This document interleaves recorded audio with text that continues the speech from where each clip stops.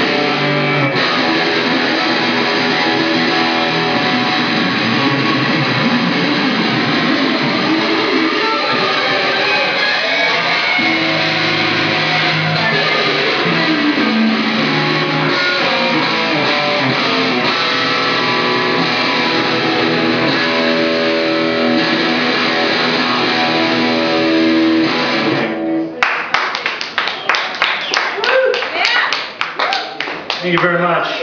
My name is Eldon Cole. Thank you for all coming out, Clayton. Let's hear it for our Clayton Valley Bowl and the open mic. Yeah, take it. Wish I could have heard what you said.